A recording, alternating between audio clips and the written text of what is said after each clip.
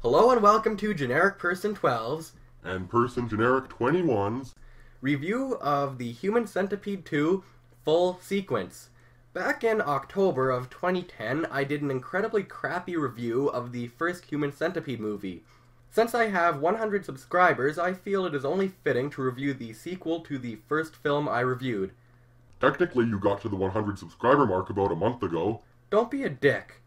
Don't blame me for pointing out the obvious. You're a lazy bastard. Anyways, I feel like 100 subscribers is pretty decent, especially considering the fact that I am very inconsistent at putting out reviews. Yeah, but doesn't your friend have like seven times as many subscribers and you've actually been on YouTube for longer than him? Who's that? Hello everyone, this is Nin10Guy. Why the hell is he here? You told me I'm the only one you'd ever do reviews with. Well, you see, Generic Person 12 helped me review ice hockey for the Atari 2600, and I decided in return I would help him review Human Centipede 2. Well, what can he contribute to this review that I can't? Well, it would be nice to do a review with someone who isn't legally retarded. Uh, I'm Nin10Guy and I like video games because I have no life. Yeah, well, hi everyone, I'm Person Generic 21 and I have a small penis. Well, technically, after the incident in my last review and the surgeries that followed, I think it's safe to say that Person Generic 21 doesn't have a penis anymore. Yeah, I pee out of a tube now. Hey, uh, speaking of fluids, can you go get me a glass of water? My throat is, as they say, rather parched. Why do I always have to do this shit? Because you don't have a penis. Okay. If you're gonna review this movie with me, Nin10Guy, you should probably watch the first one just so it all makes sense. But I already watched the first film. So, what did you think of it? Honestly, in my personal opinion, I thought the film wasn't that good. Sure, some of the acting was somewhat humorous, especially when you're watching it with another person, and the story had some really suspenseful moments that just put you on the edge of your seat, like, for example, the stair climbing scene. But overall, the idea of the film is kind of stupid. It's certainly not the worst film I've ever seen, but with that said, I'll give the first Human Centipede a 5 out of 10. Yeah, looking back, I don't think the first film is as good as I had initially thought. Even though it was kind of funny, it has literally zero rewatch value. Originally, I gave it a 7 out of 10, but now I feel it is more deserving of a 6 out of 10. Now that we've got that out of the way, let's talk about the second film. Like the first film, The Human Centipede 2 was written and directed by Tom Six, who makes Michael Bay look like a cinematic genius. The main character in this film is actually the antagonist. His name is Martin, and he is a fat middle aged sadist that still lives with his mother, and he has a fetish for centipedes. He was sexually abused by his father when he was a child, and as a result is mentally disturbed. He pretty much just works the night shift at an underground parking lot as a security guard. So he's kind of like a twisted version of Paul Blart. Well, for me, I'd say he looks kind of like Dr. Robotnik from the Sonic the Hedgehog games. Just make him bald and give him a mustache, and here you go. He also kind of reminds me of a fat rodent. You could also say that he looks like Morshu the shopkeeper. Or Peter Griffin. Humpty Dumpty, perhaps? I don't know why, but his facial expressions sort of remind me of Bubbles from Trailer Park Boys. You know what? Just to make it simple, let's just call him a fat piece of shit. Yeah, you're right. The fat piece of shit has an asthma attack like every five minutes.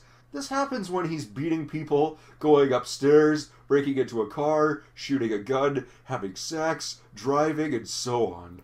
Yeah, it is pretty funny. He also has a tendency to defecate in his pants, which also makes for some pretty hilarious moments. There's a scene in the beginning of the film where the fat piece of shit tries to shoot a pissed off Brit in the foot. Now, the reason why I'm mentioning this is because when he shoots him in the foot, a lack of blood shoots out, making the effects very unrealistic. But it's not just the foot, even the headshots are unrealistic. Well, the movie was advertised as being 100% medically inaccurate, so what can you expect? Anyways, at one point, the fat piece of shit literally shits himself while he is sleeping. He wakes up and we get to see him in his underwear, which might be the most disturbing scene in the movie. The doctor comes over for a visit because the mother is concerned about her son. However, the doctor in this movie kind of reminds me of Abraham Lincoln. Yeah, he does have an epic homeless pedophile drug addict beard, and he's a bit of a dipshit. When the mother mentions that Lard Ball has talked about making a centipede out of 12 people, He takes it as a metaphor and says that it is a passing phase. Also, he sort of sexually harasses the fat piece of shit.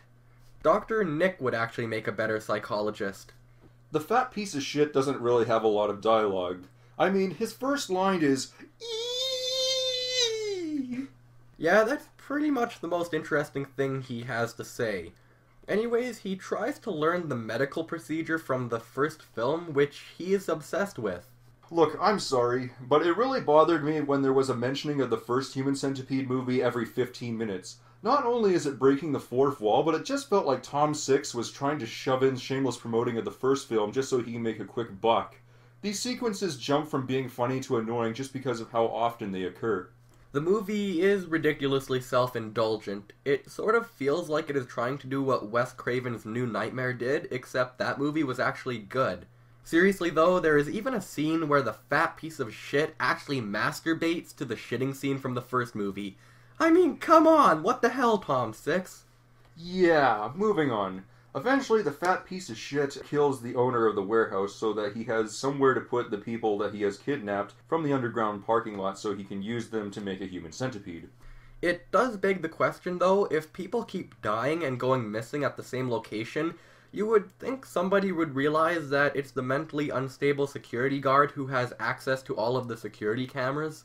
The mother tries to kill her fat piece of shit, but she fails at doing so.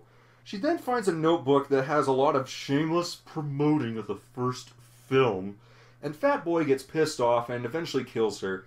After that, he starts having dinner with the hilarious, unrealistic dead corpse. Hey, yo, what was I supposed to do again? Get me a glass of water. So, I have a glass. Good, good, now fill it with water. Okay. Anyways, in another instance of very shameless self promoting, the fat tub of fuck watches a scene from the first movie while doing some sort of weird sand person dance. Then he shifts himself. There's a really retarded scene where the flabby fuckhead chases this hooker up the stairs while having an asthma attack. The hooker pepper sprays him in the face, and instead of running away like a normal human being, she just sits there like a damsel in distress. The chubby jar of mayonnaise also manages to get one of the lead actresses from the first film to fly to London by claiming he's going to take her to an audition for a Quentin Tarantino film. While he's driving her to her supposed audition and having an asthma attack, she says she thought the first movie was scary because a surgeon could actually do the procedure from the film, which is dumb. As you'd expect, he kidnaps her to be part of his human centipede. I will point out that one of the victims that the bloated ballsack has is a pregnant woman. I'm gonna say this right now that the thought of using a pregnant woman as a test subject for an experiment is really fucked up. Anyways, the fat, obese, tubby asthmatic, uh. God damn it, I'm out of ideas. Hooray, I won! Fuck you. Anyways, Fat Ass knocks out all of the victims he's kidnapped so that he can begin the procedure. It's kind of stupid because a hit to the head that knocks you out for any length of time would probably do way more damage than what they show in the film, but again, I guess it isn't supposed to be realistic. This scene I'm about to mention is probably the most disturbing scene in the whole movie, besides the scene of him in his underwear. The inflated McDonald's dumpster rips the teeth out of his victims with a hammer, cuts out the kneecaps, tears the tongue out of the actress, and rips the ass cheeks out of the victims.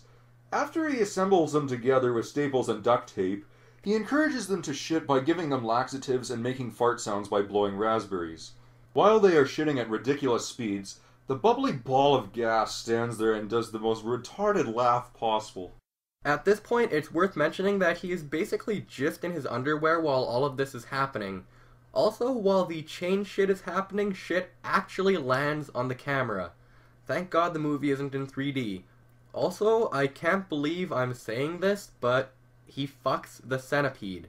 Anyways, as you'd expect, duct tape and staples aren't completely infallible, and the centipede breaks in half. Just like the classic arcade game called Centipede, if you shoot the centipede, it breaks in half. Yeah, anyways, like I was saying. Centipede was released for the arcades in 1980 by Atari. The game is a basic shooter, and it became so popular that Atari released a home console version for the Atari 2600 in 1982. I love the Atari 2600 version so much because. God damn it, Nintendo guy! Oh, come on, this game is 10 times better than this film. Whatever. Anyways, overall, I think that Human Centipede 2 represents a drop off in entertainment value from the first film. It's hard to call a movie bad when it is intentionally bad, but to be perfectly honest, it's a bad movie. The movie does have an interesting dreamlike atmosphere, and the gore is really well done, but in general, it's a bad film. The acting is terrible, which provides some humor, but it also weakens the impact of the film. As there are more victims, each gets less screen time than the victims in the first movie, so you don't find out as much about them, though this isn't the kind of movie where you can really critique it for character development. For my opinion on this film, I didn't like it. The first film was focused on storyline and suspense, while the sequel had very little storyline and mostly focused on disturbing people, which really had no point. For me, the first movie was better, but still, that's not really saying a lot. Hell, even the South Park episode about the human CentiPad is better than any of these films. The only real way you can get more entertainment value out of any of these films is by watching it with another person, simply because you and your friend can share jokes about the cheesy acting. There's downsides like the repetitive shameless promoting of the first film, and there's moments where it seems like the flashbacks are happening, but really, there isn't. It's just the crappy editing. Overall, I give Human Centipede 2 a 4 out of 10. I guess I'd give this film a 5 out of 10. Anyways, where's my damned glass of water? Uh, sorry, but I forgot. What is it you wanted me to do with this glass? Fill it with water. Okay, how do I do that again? You put it under the tap, and you turn the tap on. Oh, o- okay, wait, wait, wait a minute. Do I still need the glass for that? God damn it, this review is over. Check out Nintendo Guy's channel for awesome video game reviews, speedruns, and other video game related content, but god damn it, I can't take this anymore. Also, myself and Generic Person 12 run this YouTube channel called The Gaming Comrades. It's basically a Let's Play channel where we do commentaries for a whole bunch of different types of video games from past to present. Why is it that I don't get to do Let's Plays with you? You ate my fucking Super Nintendo controller. Oh yeah, it was pretty good. Anyways, thanks for watching. This is Generic Person 12. And Nintendo guy saying, Fuck you! But that's not my line!